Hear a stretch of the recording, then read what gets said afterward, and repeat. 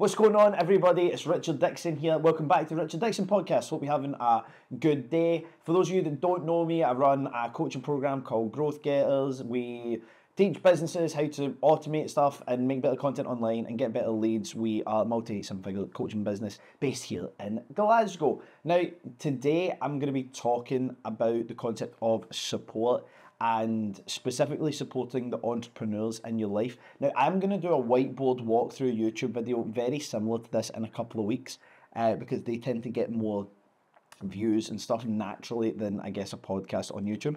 Or in my experience, naturally anyway. But it's something that I think is important to talk about is I, I don't know how you I'm, I'm really bad at collateralizing opinions into small like sentences or like a small group of keywords. I'm really crap at that, so I end up the point I'm trying to make takes like 10x longer than what it should to actually make it. What the point I'm trying to get at is many people think they're supporting an entrepreneur in their journey when really all they are is present. So just because you were there doesn't mean you were part of it. Just because you witnessed it doesn't mean you were part of it. Just because you sat around and watched it happen doesn't mean that you were a support mechanism for that person. I have had this conversation, and hey, yep, I could be the common denominator, so maybe it's me. I don't know. The entrepreneurs in the world, you might be able to assist me on this. Sorry if you're hearing my neck cracking through Spotify or Apple Podcast just now, but um, I'm a pretty stiff old man. So I've had this conversation many times, friends, family, romantic partners, whatever it may be who are adamant that they support you and are adamant that they are a big fan of yours and, and like push you forward and encourage you to do the best when really all they do is just exist whilst you're doing it. They don't actually support you. Maybe they think they do. Maybe this is a misunderstanding. I don't know. I might be teaching myself something whilst making this podcast today.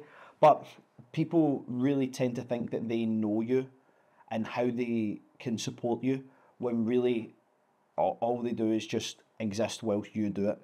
This is the, the, the hard thing about entrepreneurship. And by the way, being the partner of an entrepreneur, the family member of an entrepreneur is really hard.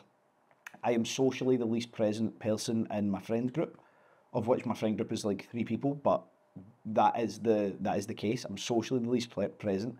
I'm the least present in my family, so I am at less family events and stuff than everyone else because I'm working or I'm doing events or have other stuff on. And then when I am there, I am still the least present because my mind is often, I'm checking my phone, I'm checking emails, I'm, I'm doing stuff like that. So I'm less present even when I am present, which is, by the way, this is not a flex or a good thing. I'm not saying like, oh, I'm pure on a different level because I do that. Um, that is just reality. And I've spoken enough about the concept of um, known sacrifice for unknown gain. And the problem with entrepreneurship, being an entrepreneur or being the partner or a family member or a friend of an entrepreneur, is that you are the person or you are witnessing the person doing work today that you are not going to know has paid off for a long time. So you are doing stuff today, making choices, ticking boxes, taking actions hoping that it's going to pay off at some point. You would literally never know until much further down the line.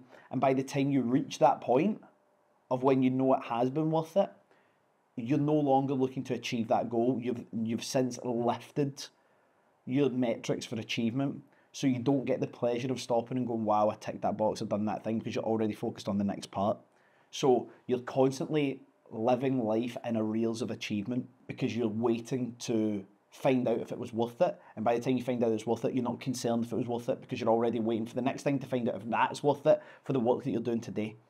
So it's, it is a weird dichotomy, and that can be hard for a partner, right? Or a friend or a, a family member. What I would say, firstly, is that for the entrepreneurs, and I'm speaking to the entrepreneurs, but the the people linked to the entrepreneurs can take some understanding from this as well people are often going to put forward what they would do if they were you, right?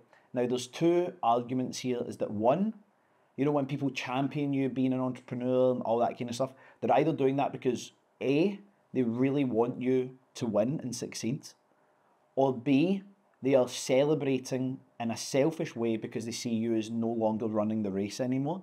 So they look at you and go, ah, this person is no like because your chances of failing as an entrepreneur is like really high statistically. So they look at you and they say, oh well, that's great because that person's likely going to go and fail, and that takes them out of the race of you know the corporate world or the job world. So the more people go and do that thing, the less competition there is inside of the workplace. So they're not actually celebrating you; they're celebrating their own increased chances of domestic success inside of the workplace. Um, and the more people that choose to be like you, the less people are competing for what they see as a good salary or a good job.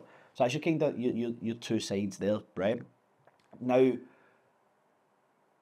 being being a partner or a friend or whatever of an entrepreneur is is naturally going to be very difficult because that person, we people like you and I, are choosing to do something that really isn't common. It's not normal.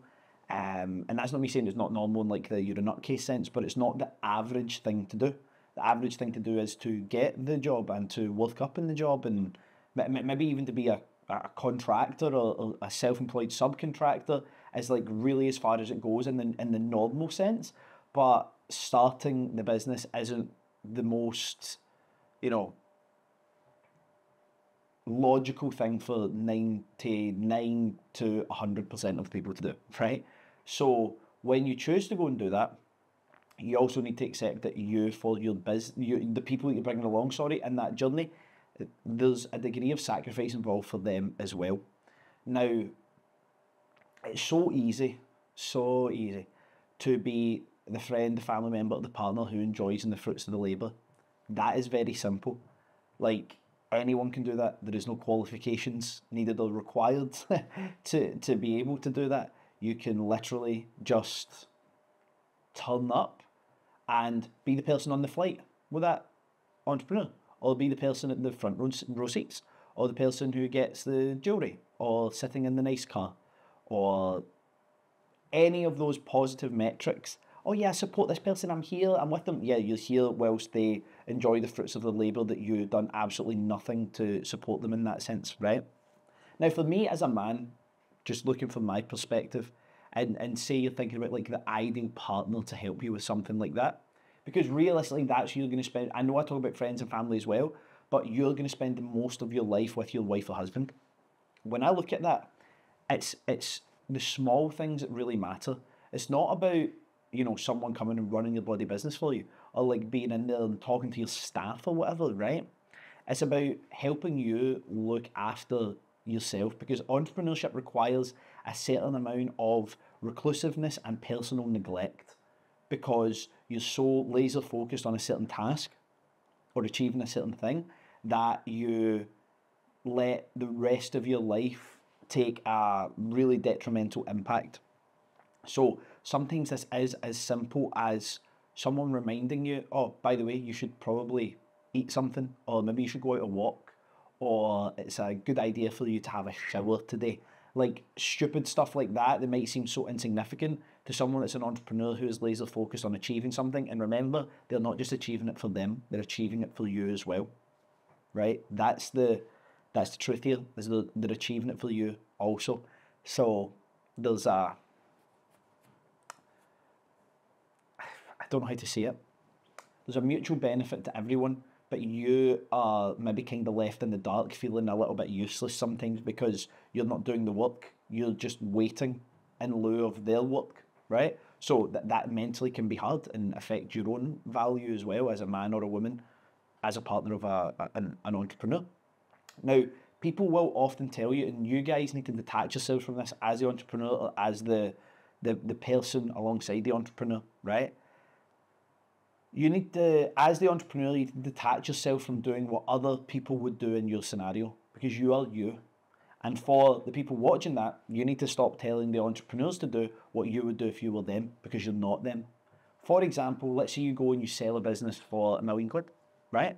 And you sell a business for a million pound, a million pound cash lands in the bank. So you're thinking to yourself, ah, nice, million quid. Now, being totally clear that is not enough to retire, um, you can invest it well and have a, a reasonable income off it, but it, after tax and stuff, you're not going to retire off a million quid. Although it's a nice little kitty to start your next business or your next venture or whatever it may be.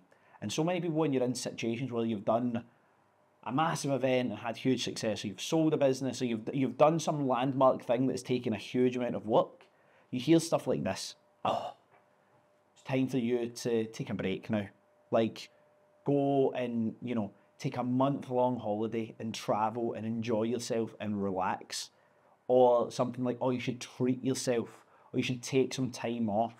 You should rest and recuperate. And hey, if you're the entrepreneur that wants to do that thing, fantastic. Like go and do it but the reality is, for 90% of us, we are not going to want to do that thing because our value is tied into the work that we do. That's where we see value in ourselves.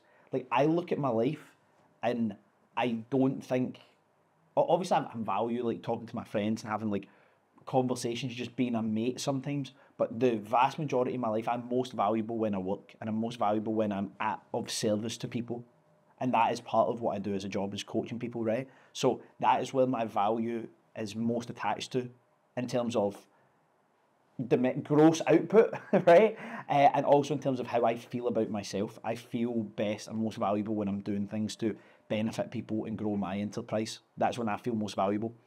So when I have a big event or something that goes really well, or a record month, or you know, as of Monday, we're about to do for the second time this year, 19 days straight of events, which is really hard, right? Because I, I, I'm a perfectionist, so if there's something I read over my slides and I want to edit stuff and I want to change things and I want to switch up parts of the coaching program and do things differently and like and so that means that I'm you know coaching from nine until five every day because I do all my own stuff. I have no like assistant coaches right. I do all of my own stuff. So I, I, and it doesn't matter if it's like the eighth day of events because it's different people every like three or four days, you know, um, or two to four days. It's, it's different people. So they're not like, oh yeah, Richard's been doing this for five. Like it's just as important to them on that day as it was the people another couple of days. So I need to make sure I show up in the best version of myself every single time. And at the end of those 19 days, I'm going away to one of our masterminds, which is quite nice because it's going to be a retreat. And then as soon as I get back from that, we're going away with our mastermind. And you might go, oh yeah, Richard, but you're going to Marbella, that's really nice. Yeah, but I'm working there and I'm being of service to people. So it's probably about a month solid where I will be dialed in, laser focused, right? And that's hard. And especially if you have like if you had a family and kids and all that, like that's going to be so so so difficult. So to be the partner of that person, you need to have a real clear degree of of understanding. But at the end of that, everyone, like my mum is always just being nice, and my mum worries about me because I work so much, right? And she'll be like, "Why don't you take some time off? Why don't you go away somewhere? Why don't you do this?" And like, yeah, I like going away places, and I've not really got much traveling planned for this year. But for me, like, I, I don't feel like I need to go and do that thing. I don't need to go and take time off. I don't need to go and do that. What I see that I need to do is I need to go nice. I just done that. How amazing is it that I've done, you know, however many days in a row of events and then two like out of country masterminds and then this and that because that shows that I have a great degree of resilience. So why should I go and take time off? Why should I build up that resilience, then go and take time off and let my resilience take a hit? Why don't I just take that momentum and continue and keep going? Now, my goal just now for the next three years is to take my business from where it is just now, which is between 100 and 200,000 every single month, and for us to go to a million pound a month. That's that's my goal for the next three years. And for me to do that, it's not by going, oh, we had a record sales month this month, we done 300,000. Why don't I take a month off? That's not going to get me to a million pound a month. Now, the problem there, though, is that when you get to the million pound a month, do you go, ah, no, because I'm you as I'm getting closer to it, I'm moving the benchmark further and further away. So I'm constantly chasing that thing. So when I get to the million pound a month, I'm probably gonna be like, okay, now let's get to three, let's get to five, right? So it's not, it's never as easy as that. Or it, mentally, it's never as easy as that because you're constantly moving the goalposts. And I don't know if I'm ever going to be happy with my level of achievement or if I have to accept and be okay with a life of consistent dissatisfaction sometimes and momentary, you know, happiness and senses of achievement as opposed to an overall sense of achievement because there's always more to do. There's always more to achieve and stuff like that. So you need to detach from what other people think is good for you, or you should take time off. You should do this, you should do that, you should speak to this person, you should do this and that. No, what I should do is what I want to do, and what I want to do is potentially go and do those things. But it also might be that I want to work more and that I want to double down on what I'm doing and I want to go even bigger, harder, faster, stronger, more profitable. That's what I want to do. And people won't understand that ultimately. And the last thing that you want to do as a person in the life of an entrepreneur is start questioning the rationale. Sometimes the best thing to do is just shut up and let them get on with it. I know it's not the most fun thing for you to do in the world. I know it might make you feel like you're not really part of what they're doing. And and yeah, you might you might not be. But instead of saying, Oh, you need to go and do this, or you need to take time off, or you need to do whatever, like if, if I had a partner and, and that's what she was saying to me, was like, Oh Richard, I really think you should take time off. That maybe is just a conversation to help educate them on what it is I'm trying to do because you need to sell someone on that style of life. You, need to like actually sell them on it because people will look on your Instagram and go, "Oh, nice cars, nice this, nice that. That's a life I would like." It's like you you kind of wouldn't though. Fire alarm going off in office. Hopefully that is a test. But realistically, like I, I'm just talking from like a male perspective. But so many women think, oh, I would love to be an entrepreneur. Being an entrepreneur is like it's like a dead cool thing, but you kind of don't. You kind of don't want to be one entrepreneur. You think you do, but you don't, right? Because it's way harder and way more difficult than you think supporting someone like that. Because it's just it's just hard.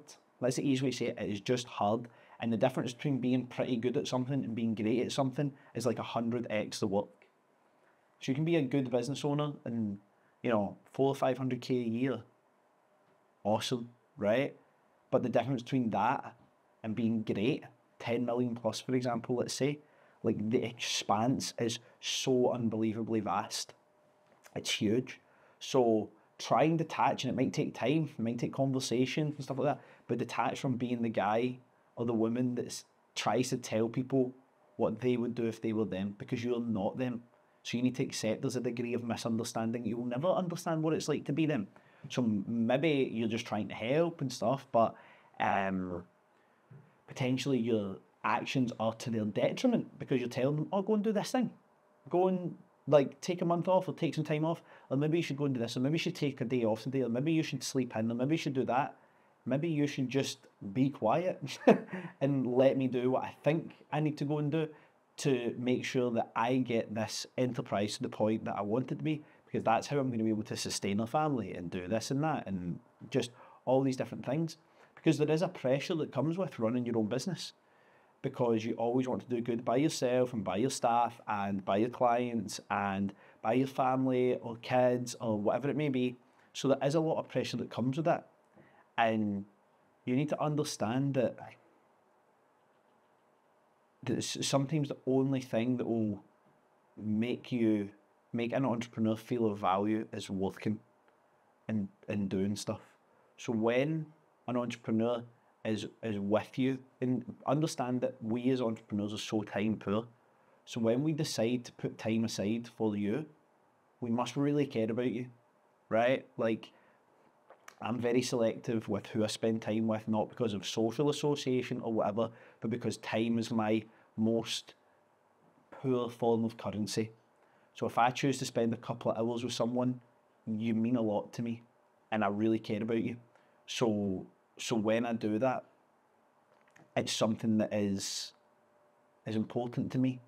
And that means I want to see the best version of, of that person and stuff like that this just brings back so many different memories. It's actually quite hard to talk about, to be honest, because it brings back so many times in your life where you try and like just do right by people and give them time and give them effort to the detriment of yourself or your organization or your your job or whatever it may be. And and it doesn't pay off. And not only is it a waste of time, but it ultimately is a just a hard a hard situation to deal with because the the resources you allocated to hoping that that thing, whether it be a relationship, a business, a friendship, the resources that you allocated to that thing to make it work or to get a return on your resources never worked out, and that's a, it's a bitter pill to swallow, and it is hard for your pride, right? It is hard for your pride, and that stuff matters. So, so when someone who's an entrepreneur puts time aside for you and yeah, they might need to check their phone and stuff, right? But if, if someone who's an entrepreneur in your life is able to put their phone away and sit with you, or able to come to you when you need them, or able to answer the phone whenever you call, don't take that for granted. Because it's it's hard, it's really hard, and if if someone who has such large aspirations and such incredible heavy pressure and often you'll find entrepreneurs are motivated by pain, the discomfort of feeling average. It's almost like body dysmorphia, but with like your life, right? You're dysmorphic with your own reality, even if you are pretty successful. So when someone's aim, someone's willing to pause that for you, don't take that for granted and expect them to do it all the time. Support them and champion them and push them forward. And maybe sometimes you need to do so at your own detriment because that's what that's what the dichotomy of relationships is, isn't it? It's a glass half full, half empty. Sometimes you need to give someone a little bit of what's in your glass to perk them up a bit so it hurts you to lift them. Um, and vice versa, which is which is important to, to be able to do. Ultimately, end of the day, you want to be able to know that you, the time you spend, the relationship you the relationships you choose to have romantically, friend wise, family wise, you want to know that you're going to get a return on your investment of resources. And the resource that matters the most to an entrepreneur is time. So when you're so time poor and you allocate time to people, it really matters. And you, when you mean a lot to that person, and you should respect the fact that they're willing to do that for you. And you should sometimes just listen and just you don't need to give advice or whatever.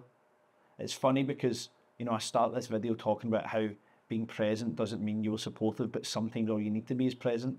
It's such a weird, like, trying to straddle that, you know?